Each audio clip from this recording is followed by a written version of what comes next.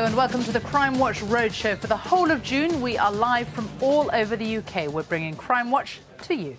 On Monday, we were after your help to find cannabis farms, and thanks to your calls, we've heard of a possible 19 more. And two of the wanted faces have handed themselves in, and we have had several really useful sightings of others. And a man we were after at the beginning of the week for a serious sexual assault was arrested yesterday, and that's thanks to calls to the programme. Let's hope we can do as well this morning. Well, Penny Roberts is in South Wales. Hello, Penny.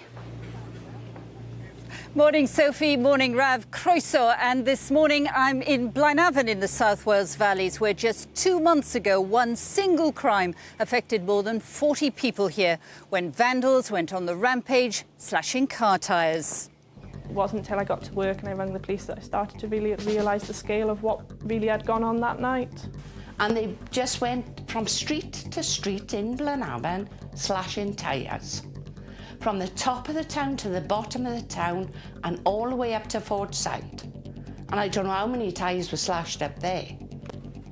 And the burger van man robbed of his takings after a weekend at a music festival. He was attacked by four men. One had a gun and they got away with 45 grand. But first, Sarah and Adrian's wedding should have been the best day of their lives. As they exchanged vows at the altar, thieves made sure they'd remember the day for all the wrong reasons. Here's why. Sarah and Adrian had been planning their wedding day for two years, and on April the 25th, the big day finally arrived. And the cameras were out in force to record their special day. Started getting ready from about half past seven at the hairdressers. Got home, carried on trying to get ready, get other people ready. and the photographer turned up about half past ten, and then from there onwards, then was a, a bit of a blur really. I kept out of the way of everyone. I was feeling really, really jittery. Uh, stomach doing cartwheels. Once, once we were here, everything just seemed to uh, go to fast forward. Um, all the nerves had gone. Anticipation was up there. Had to wait a little while for sales to turn up. The only real thing I can remember from being in the church is uh, when Sarah initially walked into the church. I looked around and had to take a double take because, say, breath taken away, absolutely gorgeous. But while Sarah went down the aisle, an uninvited guest was calling at their home. At the end of their marriage vows, we all gave them a good round of applause to welcome them as, as man and wife, and it was a very friendly, happy occasion. But their photos weren't the only things being taken. From the church, we went to the Glenaravan Hotel in the horse and carriage. We had a um, PowerPoint presentation all about me. Um, so after that, we decided just to simply try hiding the fact that he had no hair. It was a really, really good speech. Uh, managed to um, sum me up pretty well. Ma managed to embarrass me, um, as a best man speech should do.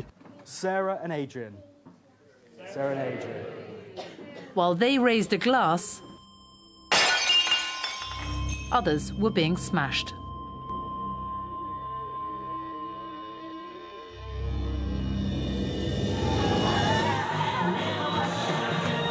They parted into the night, but the next morning, the hangover was the least of their worries.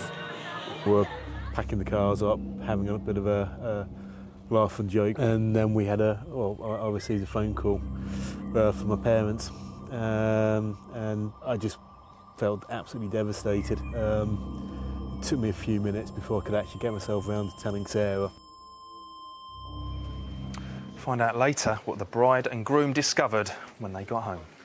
Also coming up, we're with police on the hunt for thieves who dismantle your car and steal the parts.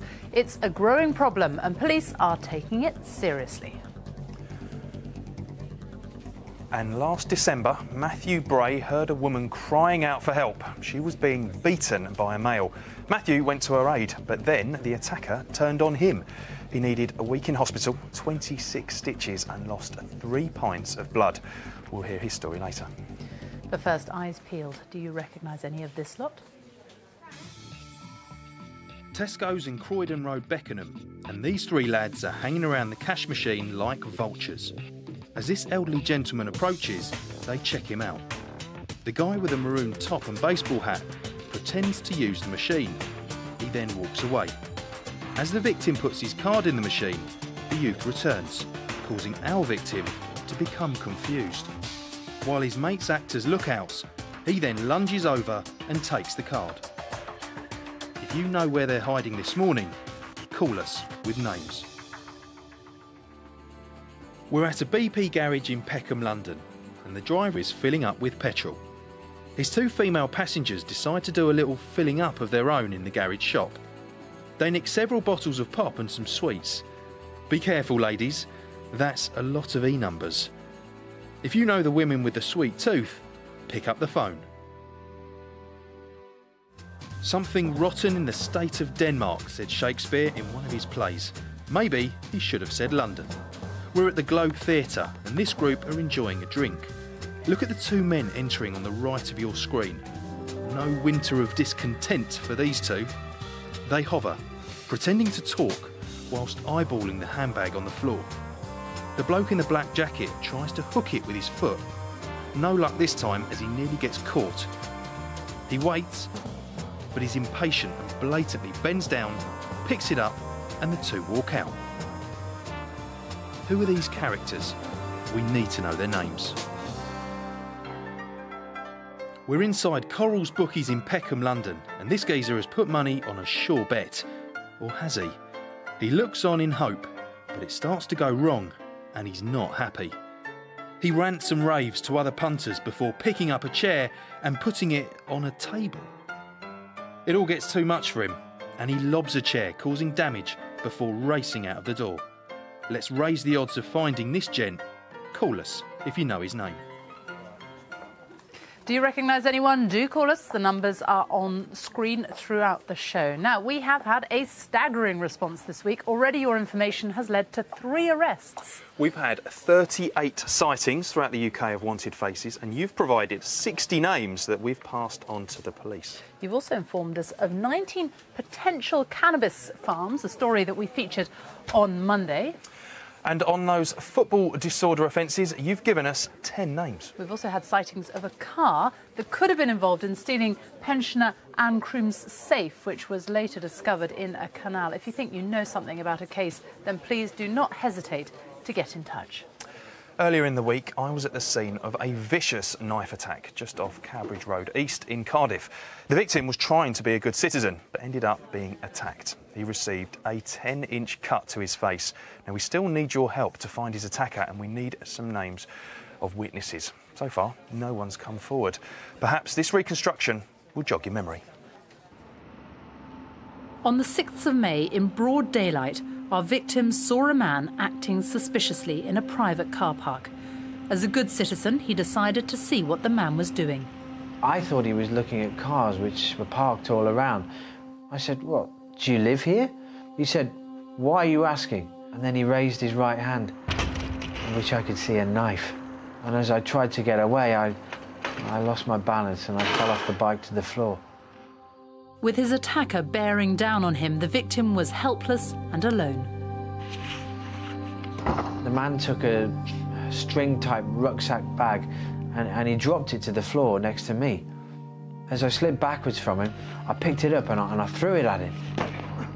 But his attacker wasn't quite done with him yet.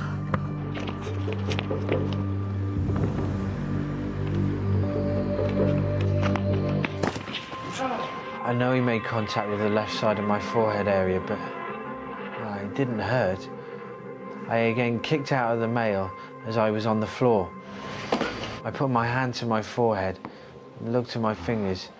I could see blood on them. Now the victim knew he was fighting for his survival. He had to get away.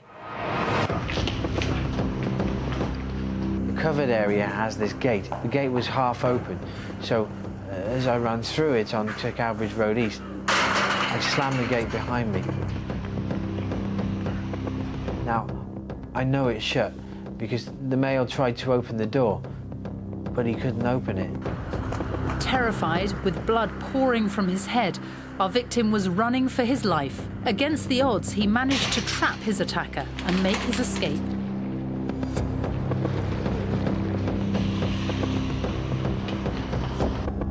This is the moment he got away, captured on CCTV. His attacker is also seen here, fleeing back towards the car park. There were some men there who saw me.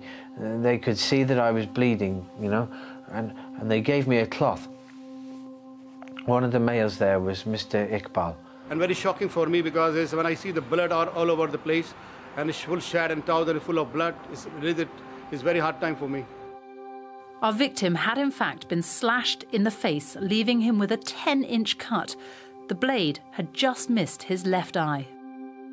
Since this incident, he has become very quiet. He's in shock. Every time I had tried to talk to him, every time I try to chat him up, he is bit down. But I think it will take quite a few weeks before he comes back to normal. That really was a shocking attack. Police do have this EFIT though. The man we're looking for is described as black and of African appearance, in his early 20s, about 5 foot 8 tall and of slim build, with black, short, slightly curly hair. And we rode away from the scene on a black or grey bike. If you can help, please call and the number is 08000 468 999. Or you can text us, remember, on 63399. Just text CW space and then your message. Don't forget to leave that space or your message won't get through. Now, if you'd like to remain anonymous, you can call the independent charity Crimestoppers and their number is 0800 555 111. You might remember from last week the story of 90 cars in Manchester that were vandalised in one night. Well, unbelievably, we have a similar tale in Blaenavon. This time, thugs were slashing car tyres. Here's what happened. It was unbelievable, you know, the money that we've had to pay, and it just um, makes me feel sick to the stomach, actually. We're all going to end up having cameras put outside our houses because we're all afraid to leave anything outside. We just couldn't believe how many had been done. And then when I went to work on the Monday, I found some of my workmates uh, had two cars done as well. First thing you think is if I upset someone, but it wasn't until I got to work and I rang the police that I started to really realise the scale of what really had gone on that night.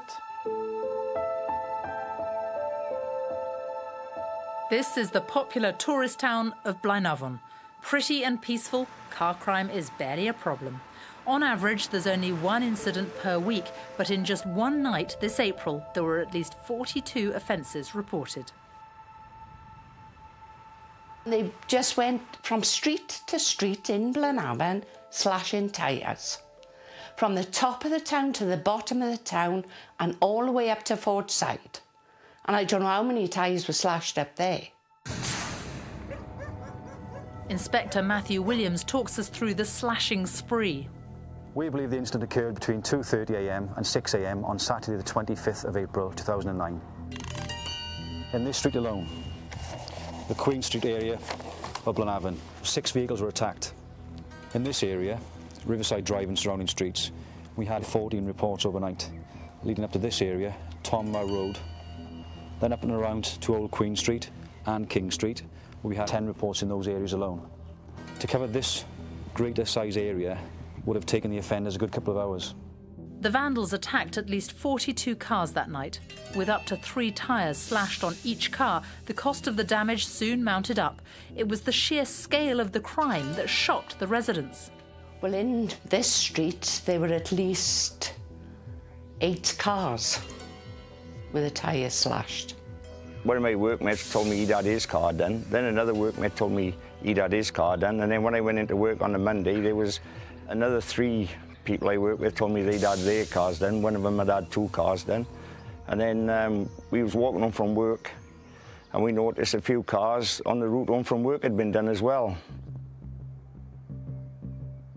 The following morning, and unaware of the vandalism that had struck her town, Naomi Harris set off on her normal drive to work. It was Saturday morning, so just another work day for me. I was running late, so I was in a rush. Literally just grabbed my bag and ran out the door. The car was an absolute nightmare to drive to hope, you know, that I could get to work and then ring my husband and say, well, the car's not driving right. Naomi's journey to work took her along the remote Abergavenny Road with its sharp bends and steep drops. Although she didn't know why, the steering was getting worse and the car hard to control. I had a van behind me was constantly flashing me and tooting his horn at me, so I thought something must be wrong. I could smell rubber by that point as well.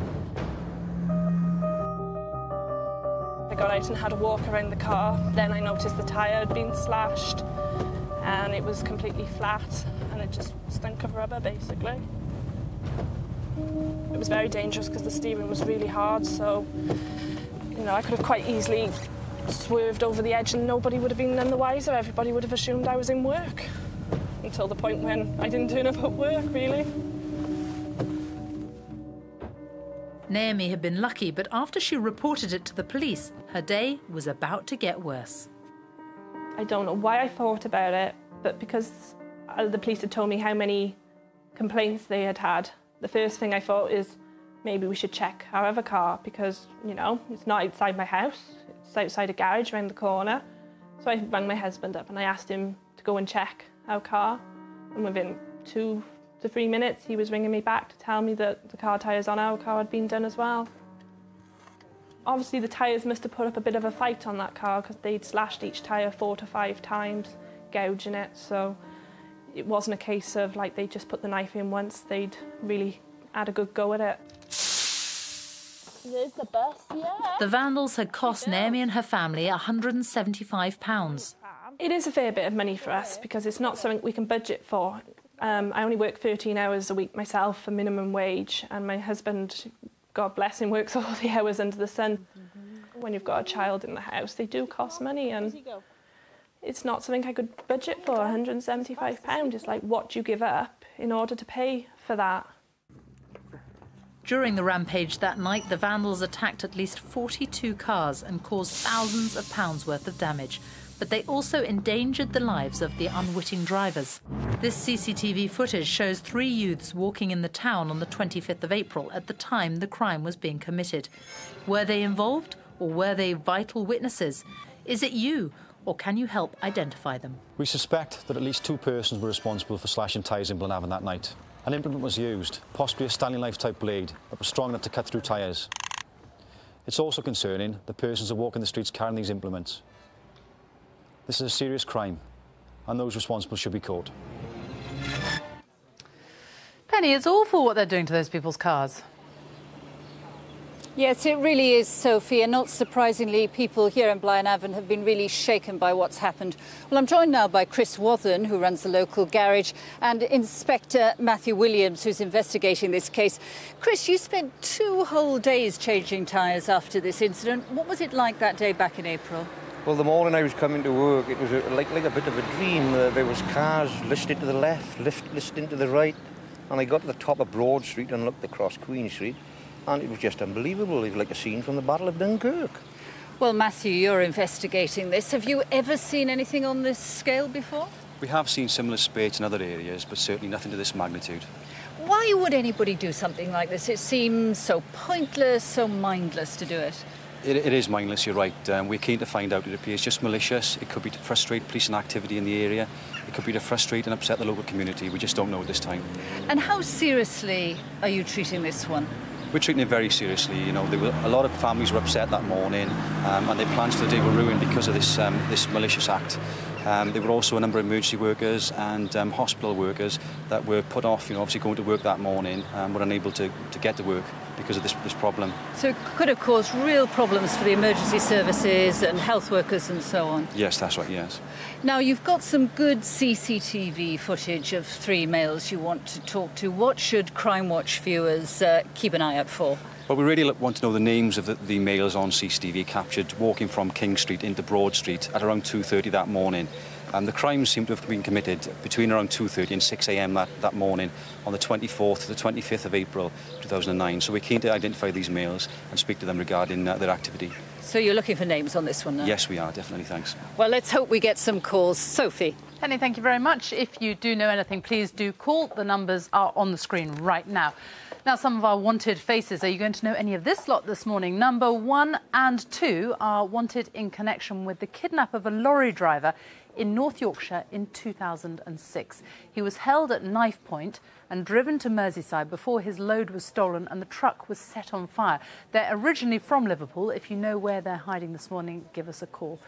Face number three. This is Michael Bishop. Police want to talk to him in connection with the murder of Stuart Slade in Brighton last year. Bishop is 24 years old, and as well as having links to South England, he has also lived in southern Spain. There's a £5,000 reward. So if you know where he is, give us a call. And finally, number four. This is 47 year old James Shevlin, who police would like to find. Shevlin was jailed in 2009 on deception offences and has now skipped bail. He is also wanted for questioning about another fraud involving a popular online internet auction site. Have you seen him? If you know where they are or where they're hiding, call or text. The numbers are on screen now. Now, the story of a terrifying robbery at gunpoint. After a busy weekend working at a music festival, a burger van owner arrived home. Minutes later, right in front of his wife and three young children, four men surrounded him held a gun to his chest and demanded the takings. They got away with 45 grand. And DS Rob Cronick is on the hunt for the gang. Rob, good morning. Talk us through what happened. Yeah, good morning, Rav. Um, it was Bank Holiday Monday, the 25th of August of last year. A horrific incident for the, for the family. A 32-year-old man had come back from the Leeds and Chelmsford V festivals, uh, had driven back to his home address in Trowbridge in Cardiff, and as he was met on his driveway by his family. His wife was holding their six-month-old baby and their two younger children were there. He was confronted by a gunman who pushed a gun into his chest, demanded he drop the money, which he did, fearing for his safety. His family went hysterical with fear, and the gunman, with three accomplices, ran off around the corner. Now, it looks as if he was targeted, doesn't it? They were definitely targeted. They, uh, the culprits knew exactly what time the, the man was coming back. Uh, they knew he would have that amount of money. So there's no doubt this was a planned robbery, and that's how we're looking at it. Now, we've got a still of the suspect's car. What do you know about that? Yeah, we spoke to witnesses following our inquiries initially, and they described a dark-coloured people carrier with sliding doors. We've got footage from our inquiries of a black Vauxhall Sintra following our victim through Cardiff to his home address. We need to know about that car. Now, crucially, we've got some CCTV footage of the offenders. Briefly talk us through that. Yes, the, the footage shows the four culprits, but we've got two descriptions. Firstly is the, the gunman. He's described as being a white male with olive skin complexion. He's got bushy eyebrows and a round face, and distinctly he's wearing a yellow fluorescent jacket with dark jeans with uh, distinctive zips behind the knees. He is a very large build. The second male, who was wearing a balaclava, was also wearing dark clothing, but distinctly for him, he was wearing black jeans, G-Star make, with the 96 embroidered on the, the left rear of the thigh. We need to know who those men are. We certainly do, Robert. And, and in addition to the £45,000 they've stolen, it's worth noting and highlighting the fact that these three young children were there at the time. We really do need some help on this one. Thank you for joining us this morning. If you can help us in any way with this case, we definitely need your calls today. Get on the phone. Still to come, it was Sarah and Adrian's big day, but as they tied the knot at the altar, thieves ensured they would remember this day for all the wrong reasons. Right now, though, if you saw a man in the street beating up a woman, what would you do? Not a situation you ever hoped to find yourself in, but for Matthew Bray, that is exactly what he faced back in December. And he, joined, he joins me this morning. Good morning. Just tell us what happened. I was in a takeaway in Gillingham by where I live. Um, I heard a commotion outside, saw a lady and a gentleman running past. Got out to see what the commotion was about, followed them in the direction that they've obviously gone in. Um, asked the gentleman what he was doing after I saw him attacking the female. And he was really going for her, wasn't he? He was. He was punching and kicking her into a doorway of a shop. Um, he turned on me violently. Uh, started to be in a struggle. I got attacked by him punching and kicking me. And this is just because you asked him what he was doing? exactly. Um, I then sort of tried to help the lady after she was crying out for help. I've gone into a petrol station hoping that the gentleman would be picked up by the CCTV cameras. And then after a short time after that, he went away and then came back and managed to catch me in the face with a sharp instrument. Do you know what, what it was? I mean, it's left a terrible scar, hasn't it? It has. Um, I don't know exactly what the instrument was. We think it may have been a knife. Um, And the injuries, I mean, we've got, I'm just going to warn people now because we've got pictures of the injuries just after the attack and they're pretty horrific, what, what he did to you. Yeah, um, I was hospitalised for a week, lost three pints of blood, and I needed 26 stitches by a surgeon in a separate hospital. It's- just extraordinary. And all you had done was asked what was going on. Was this woman all right? The man has actually subsequently been caught, hasn't he? He's now in prison because he what, bragged about what he'd done. Yeah, he, he was bragging to some friends in a pub. Someone heard him, notified the police, and now he's been sentenced to six years in prison. So you are left, you know, an innocent passerby, as it were, who's just tried to help somebody in need. You are left with this scar on your face, and you know it's a horrific thing to go through. In hindsight, or if it ever happened again, would you do it? Would you step in like that? I'd like to say no, but if something happened to someone that was very close to me and that was happening, I'd hope someone would help them, whether that be ring the police or Mm. maybe even step in.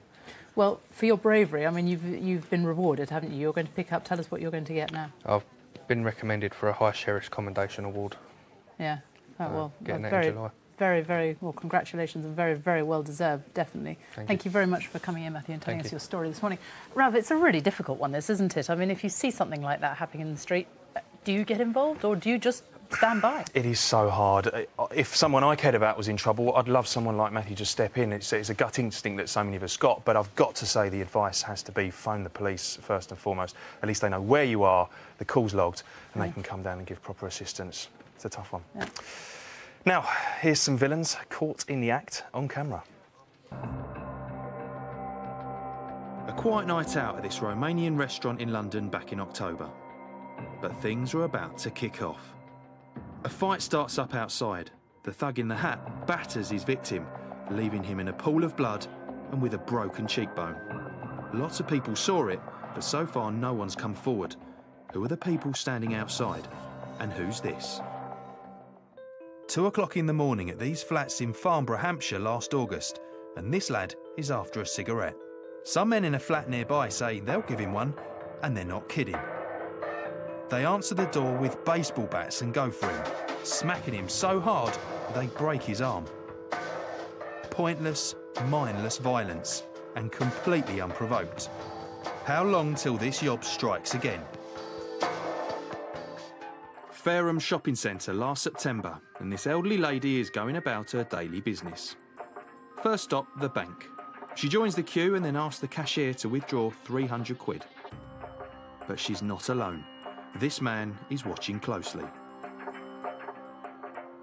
He follows her out of the bank and into Boots next door. Once inside, he makes his move.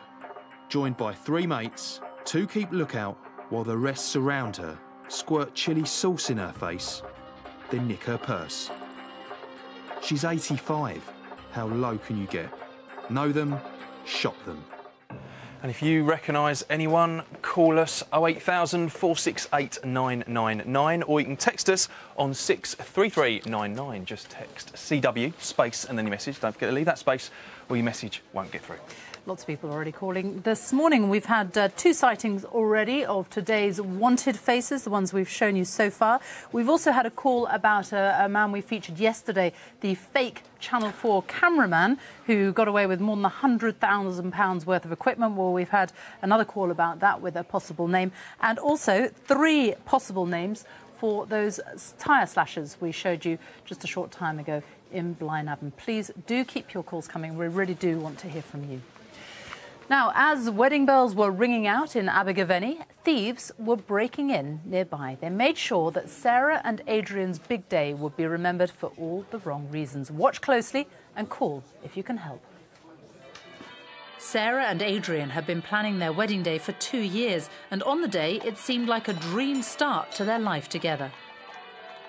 The only real thing I can remember from being in the church is uh, when Sarah initially walked into the church.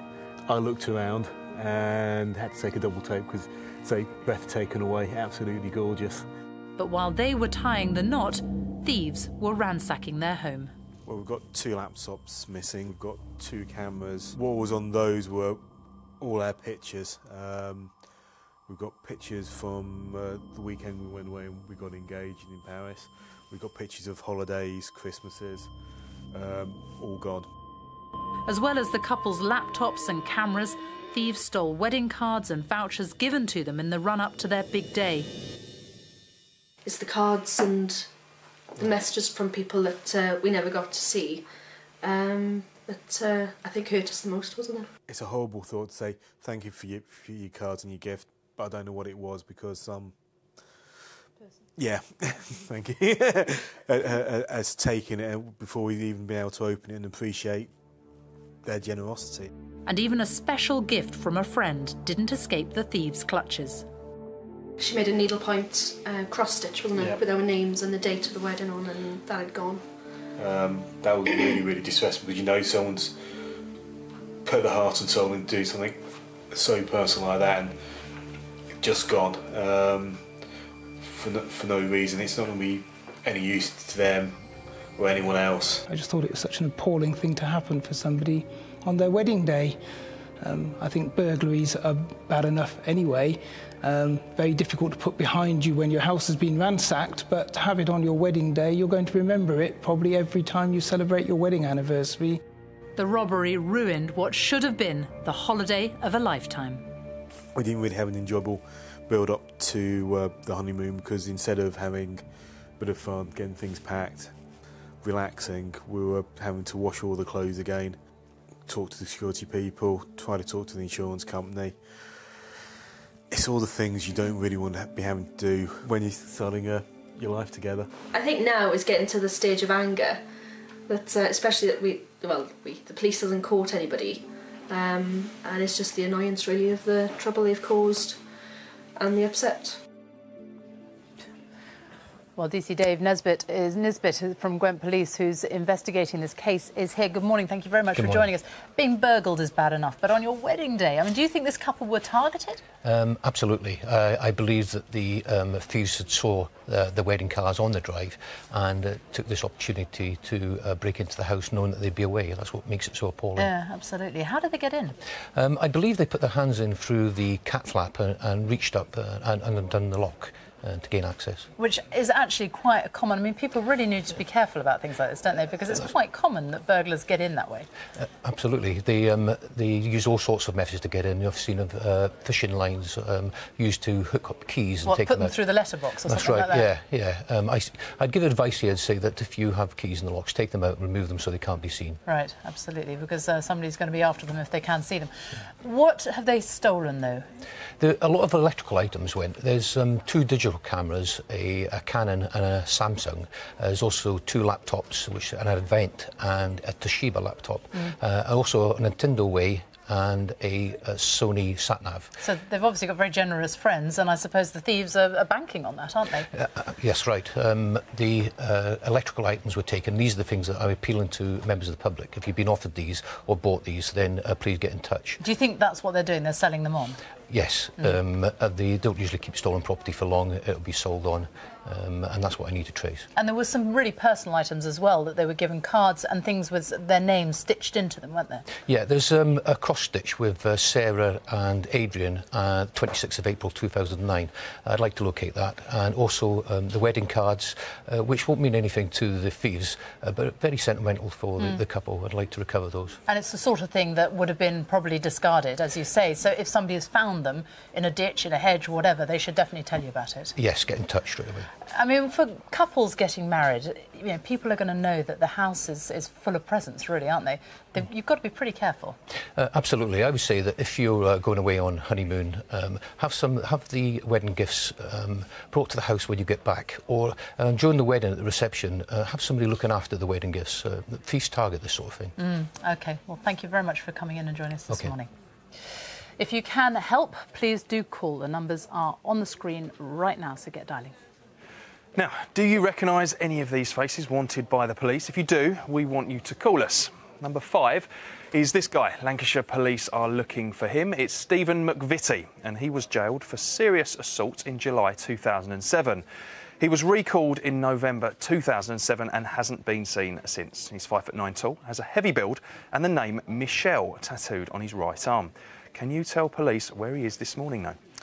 Number six here is Norman John Rowan, and he was originally jailed for assaults in March 2006 at Preston Crown Court. He's now on the run, and the police want to find him. He has distinctive tattoos on his right arm, also, this time of dogs. Number seven is this chap here, 23 year old Thomas Badzo. And he was jailed in 2006 for burglary and needs to finish his sentence. Only he's nowhere to be found. He lived in the Bradford and Burley areas and has a heart shaped tattoo with the word Anna on his right arm. Have you seen him? And last but by no means least, my number eight is James Roberts Hawkins, and police would like a word with him about the theft of farming equipment. Back in April, a cultivator worth £500 was stolen. Now, he has links to the Cathays and Llangdin areas of Cardiff. So, if you have information on any of these faces, call us. The numbers are on your screen now. And if you want a second look, you can go to our website, remember, bbc.co.uk forward slash Crimewatch Roadshow. Now, when you park your car, the last thing you imagine is that someone will come along and remove part of it. Well, that is exactly what happened in our next case. After months of searching, Rodri Isaacs felt he'd found the one. When I went down to look at the car, it was really nice, just what I wanted. Nice and sporty, a really nice young person's car. Nice alloy wheels, leather interior. But this happy partnership was to be short lived. Thieves were targeting his £7,000 Ford Fiesta piece by piece. I was coming out of rugby training, walking across the road, um, and I could see walking towards the car that the spoiler had been ripped off and I didn't I really didn't know what to think. My emotions were like I felt sick, I felt angry to think that someone could have done that.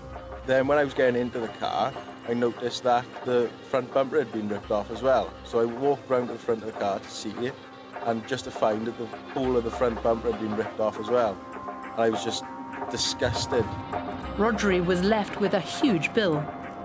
All in all, buying all the parts and getting them sprayed as well, the same colour as the car, it cost around £800. On the outskirts of Cardiff, police have an Aladdin's cave of bumpers, bonnets, exhausts, and engines. These parts have been seized during raids across South Wales because they've been illegally stripped from cars. They buy the salvage car for um, below market value, repair it with stolen parts, and then sell it on um, to make a profit. Gangs out for a quick profit are targeting certain types of cars. It depends on what salvage they buy. Um, popular cars being the smaller cars, um, Fiestas, uh, Renault Clios. Easy to sell afterwards, um, easy to work on.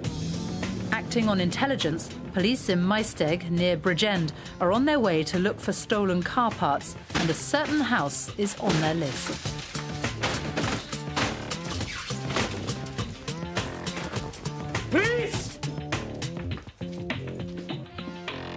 A single stone is left unturned during the hunt. We haven't seen to find much at the moment. We're just waiting out for the owner to turn up and then we'll obviously check the garage and check the outbuildings. There seems to be quite a lot of equipment in there, uh, tools and sort of car paraphernalia that uh, we'll be looking at, uh, like to have a look at. Um, and obviously as soon as we gain entry, just have a quick check around. Uh, that'll probably uh, conclude the warrant then. Moments after smashing a window to get into the garage, the owner turns up to answer their questions. For... You've had information, um, possibly car stolen, bits of stolen cars here. They find some parts which they want to investigate further. What's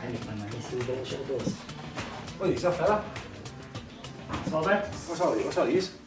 We've had uh, one male arrested uh, on suspicion of theft of a motor vehicle. Uh, the items we were looking for were recovered from the, uh, the outbuilding, the big garage that he's got in the back. Uh, he'll then be interviewed about uh, obviously the items we found here this afternoon and uh, he'll have his opportunity to put towards us uh, how he's got to come to uh, acquire some of the things that he's got obviously. Back in Blackwood, Rodri has given up his dream of owning a smart motor. I completely lost all interest in the car. It was because it, it was worrying that it could have happened again. And, you know, I could have ended up paying out another lot of money. And I just didn't feel right taking the car anyway and leaving it. and I didn't want to be in the position where I was going places and worrying about leaving my car. Penny, it seems this kind of crime is on the rise as well. It is indeed, Sophie, because Rodri's car wasn't the only car to be hit that week. Well, Matthew is back with me now. Uh, Matthew, um, tell us more about this spate of thefts, which does appear to be becoming more common. Yes, it was the 4th of December last year at around 5pm at um, outside of Fleur-de-Lis Rugby Club in, near to the town of Blackwood. Um, Rodri parked his car outside um, and he he'd gone training um, and a number of parts were removed from his vehicle. And uh, these, these are specific parts, you know, and, and they would have required specialist tools to remove these parts and it would have taken a few minutes to do so as well. We believe there are about four or so um, other similar thefts in the area at that time. Now, if you're unlucky enough to get car parts stolen, what are your chances of ever getting them back again? It does depend. Some major car parts will have uh, the vehicle um, registration numbers marked and chassis numbers marked on the actual parts themselves. Um, there is an opportunity to stamp the, uh, the parts with your own unique reference numbers. Uh, it, it does depend on, on if that's been done or not. So, what do you think has happened to these parts? Where do they end up? It's more than likely that they've been sold locally on the internet or through some trading magazine. Uh, not too sure really at this time. And what about uh, Rodri's case? Any progress on that one? We haven't got any leads at this moment in time, and we're keen to find out if anyone was in the area of Fleur de, Fleur de Lis Rugby Club at around five o'clock that evening, uh, and they saw somebody um, with the vehicle, um, tampering with the vehicle, that um, they come forward and let us know any, any information they have. Well, let's hope so. Matthew, thanks very much. And Sophie, let's hope that someone out there knows something about this case. Penny, thank you very much. Got some good calls coming in already. We've got some more on those tyre slashes down in Wales. Not just three names, we've also got some addresses now as well. So we're passing that on to the police. Very excited about that. Uh, let's hope we can catch those involved. And also uh, the laptop theft we showed you on CCTV yesterday that happened in a pub in London. We've had a name put forward for someone involved in that. Yeah, absolutely. And we've also had a very interesting call about the car used in the armed robbery for the burger van. £45,000 they took. Well, we've had a call about that car and about occupants inside it. That will, of course, pass on to police. Well, that's it from us for this week. Next week on Crimewatch Roadshow, we're heading to Northumbria. And on Monday, we're out with the 999 response team. Have a look at this. Oh, we're ready, yeah? Right, door.